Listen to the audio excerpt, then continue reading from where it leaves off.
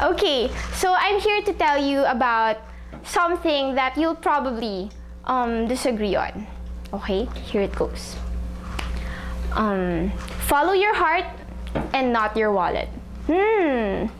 I can hear some people saying, yeah, it's easy for you to say you have a gold belt. okay.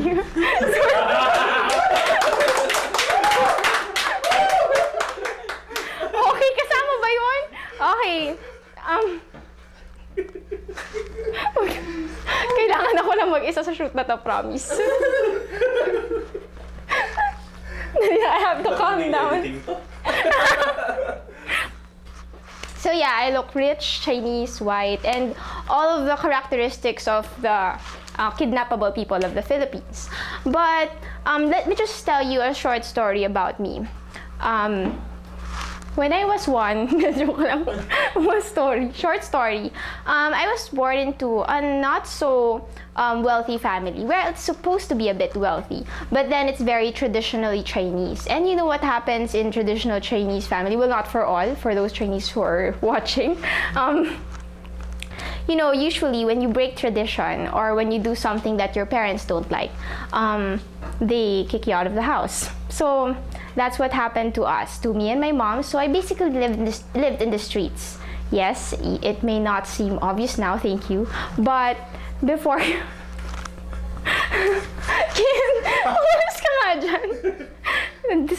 Eh. Okay, so, um, but ano, before, um, that was my life. Um, going from one church to another. First, there's Quiapo Church, then San Sebastian, then Holy Face. All the churches imaginable around the Quiapo area. So that's how I lived.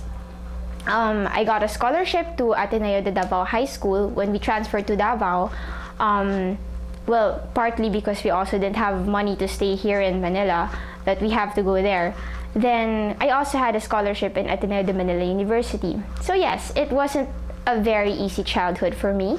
Um, but that didn't stop me from following my dreams. See, when I graduated from Ateneo de Manila University, um, I got several offers from big corporations with really um, tempting compensations and benefits. And um, I thought about it for a while because up to now I'm still a breadwinner.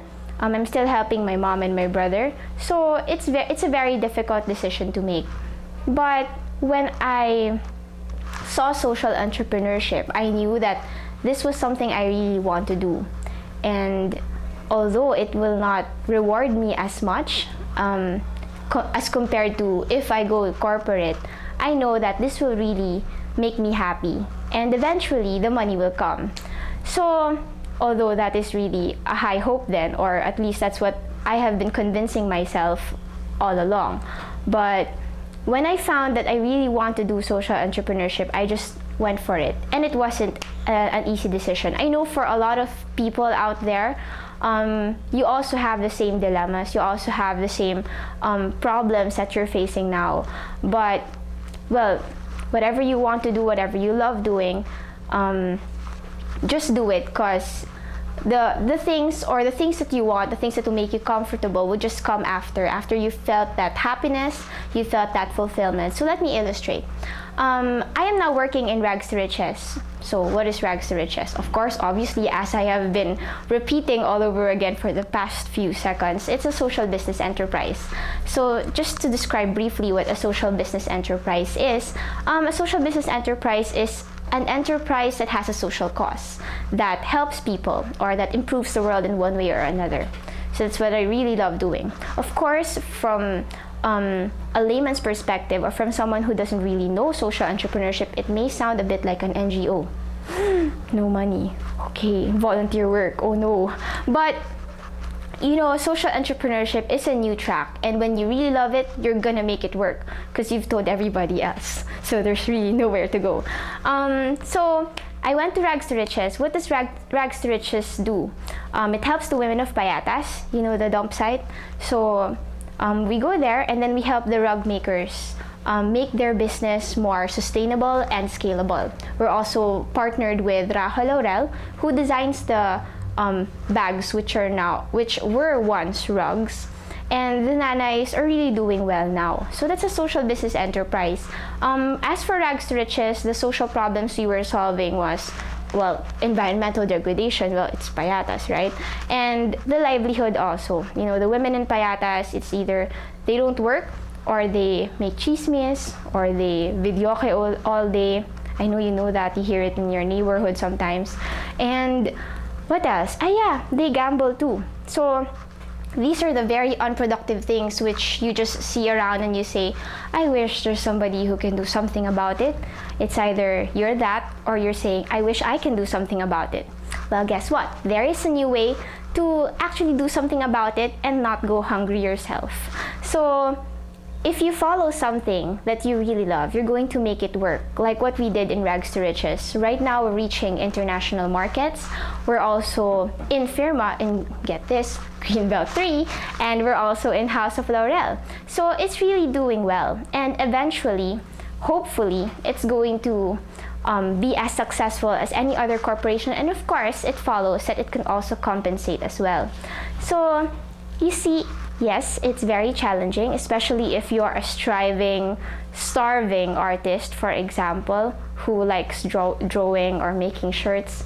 But you know, if you really love what you're doing and you're so passionate about it, you just have to believe in it well enough that other people will believe in that too. You know, belief in yourself is very infectious. Um, when you believe in yourself and you believe in your values and your cause, people will eventually believe you too. Because it starts from you if you doubt yourself, how can you expect others to also to believe you or to give you money for it or to support you when you yourself you don't really understand what you're doing in the first place, right? So for me, you know, just follow your dream. Yes, it's very easy to say right now and it's very difficult to leave your comfort zone, to leave the place where you feel most secured in, but you know it's worth it. Um, it's worth it to wake up every Monday morning and say, I love this day, and this day is going to be great, and I love going to work. And not just always looking forward to Fridays and dreading Mondays. So, if you love the feeling of getting up every day and knowing that there's something great for you out there, it's really worth the risk of leaving just security and just comfort. So, my What's this supposed to be? Kidding. Kidding! La, they're looking at me like they want to eat me. I'm looking for a space where you can see it well. They're all laughing at me now. Okay. can I make it big? No.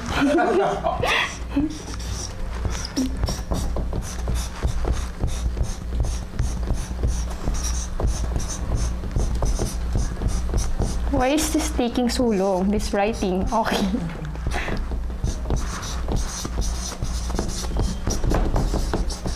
it's making so much noise, ha, this cardboard. Okay. Be an inspiration. So guys, if you follow what you love to do and you follow your heart and not just any other like comfort or security and you just follow what you're called to do, you know, the things that you dreamt of as a child, then you can be an inspiration to many. I hope I was to you. Thank you. Wala na tayong space sa Yay!